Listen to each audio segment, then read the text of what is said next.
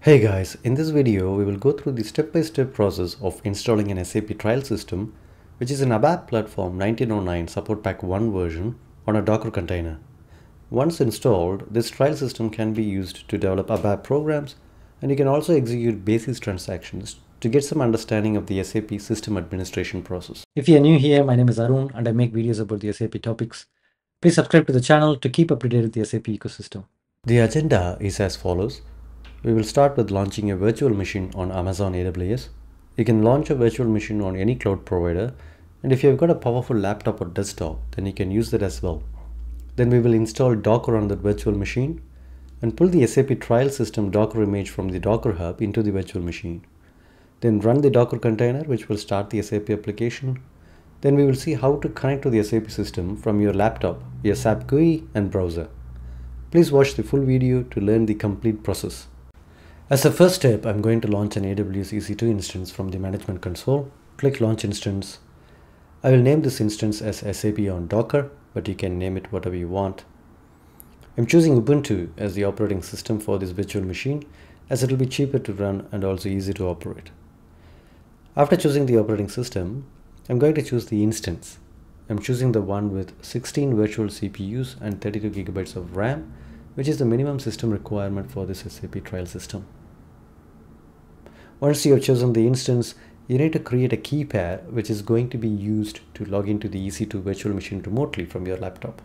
I'm going to name this as SAP on Docker Linux and then click create key pair button. It will download the key pair file with a .pem file extension. Save it safely somewhere for now and I will show you how to use it later. Then in the network settings, you need to open ports of the server so that you can communicate with the server from the outside world. I need to log into the virtual machine via the SSH connection. So I'm going to allow access to the SSH port 22 specifically from my laptop's IP address. I'm also going to allow access to all the TCP ports from my laptop as it will be required for SAP GUI connection.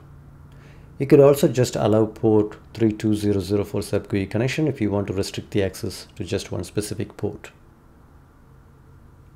Then we need to configure the storage volume. I'm going to add 250 gigabytes of storage. That's the minimum requirement. Then give it a quick check and once you're happy with everything, click the launch instance button and it will launch the virtual machine. The instance have been created and when you click on the instance name, you'll be able to see the uh, details of your instance such as public IP, private IP and other details.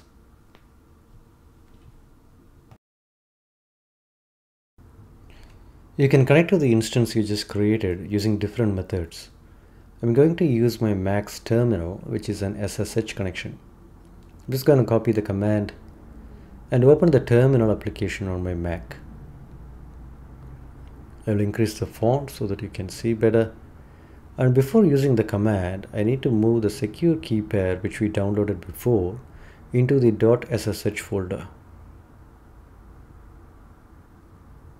So I'm just moving the file which is located in the downloads folder by using the command move into the .ssh folder which is available in the home directory.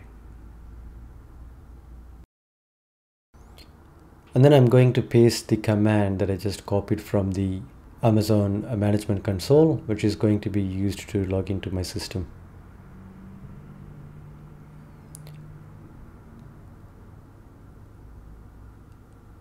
Before hitting enter, I'm just going to change the path of the key pair file location.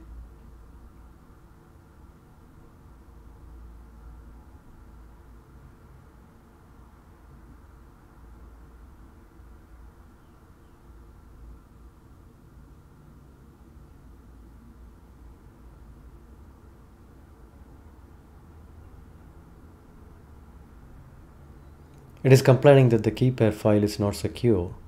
So I'm going to change the permission to 400.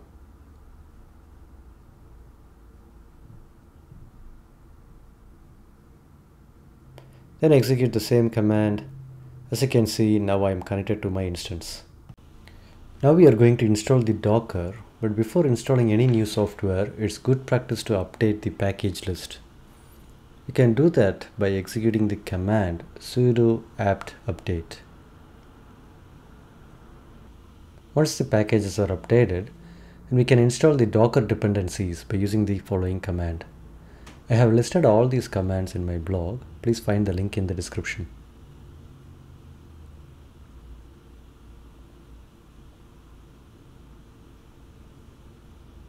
Once that is done, we need to add the Docker GPG key and then set up the stable Docker repository and finally install the Docker engine.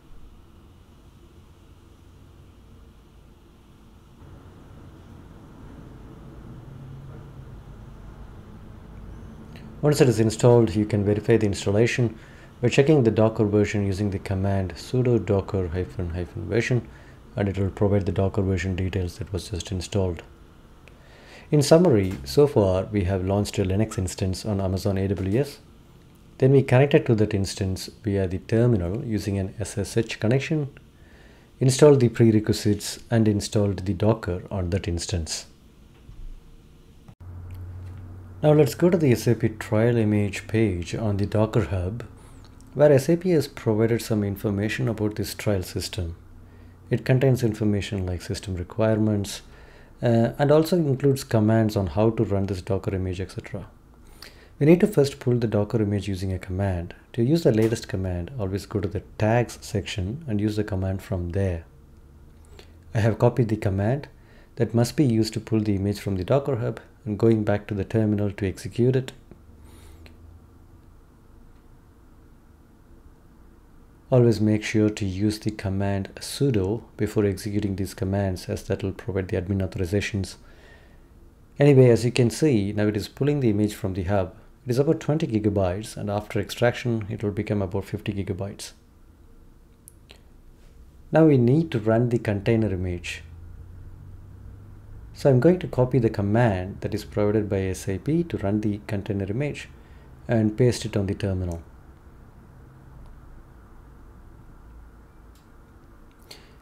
Make sure the command contains skip limits check at the end, otherwise it won't let you to run the image. And as you can see, we are allowing a bunch of ports to be allowed between the Docker container and the Docker host so that we can communicate to the SAP system from outside the virtual machine. Hit enter and it will run the image and also starts the SAP system and the HANA database. It may take a while to start the HANA database as it has to extract the data and occupy it in the memory. Then the application server will start. Once all the components are started, you will see the message all services has been started. Now moving on to the next section, you can connect to this SAP system using two ways. One is through SAP GUI and the other one is through your browser. I have installed SAP GUI for Java on my machine as it is a Mac if you're using Windows, then you can use SAP GUI for Windows. You need to download the SAP GUI application from the SAP support portal, which will require an S user ID. If you do not have an S user ID to download SAP GUI software, then you can use your browser to log into this SAP trial system. Stick to the video and I will show you how. Now I have installed SAP GUI for Java and going to the advanced section, then providing the connection details. As you can see, I have provided the IP address and port 3200 on which the communication will take place. Then double click on the connection and as you can see I can reach the SAP system. Going back to the website, SAP has provided the username and password uh, you can use to log into the system. The username is developer and the password is something you can see on the screen. The client is 001. Once you've entered all the information, hit enter and uh, you'll be able to log into the SAP system.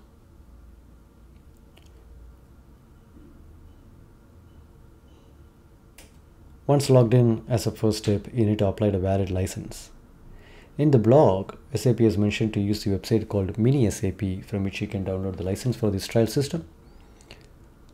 I've just gone to the Google and searched Mini SAP and you can see the uh, website. Just go into the website and download the license for the system called A4H as that is what the SAP trial system is called.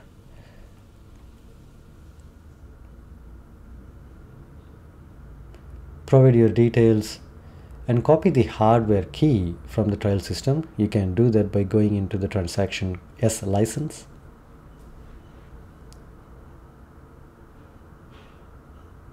So once you have copied the hardware key, go back to the website and click generate.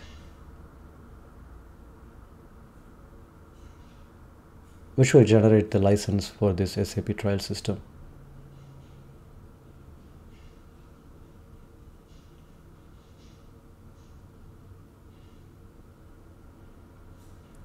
Now go back to the S license transaction and apply the newly generated license.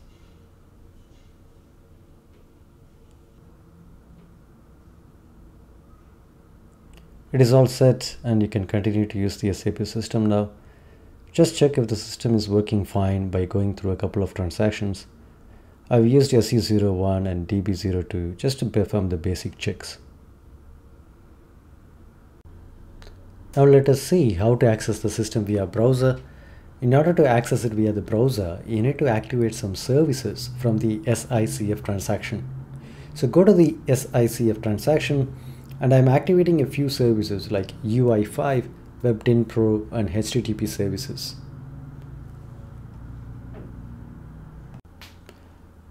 Once it is all activated, go to your browser and use the URL as follows. It should contain the public DNS URL of your instance name, then followed by the port number for HTTP, which is 50,000, then followed by SAP, BC, GUI, and Web GUI with the client information of 001. Hit enter and you will see the logon page of the SAP system. Once again, use the username and password provided by SAP and you will be able to log into the SAP system via the browser.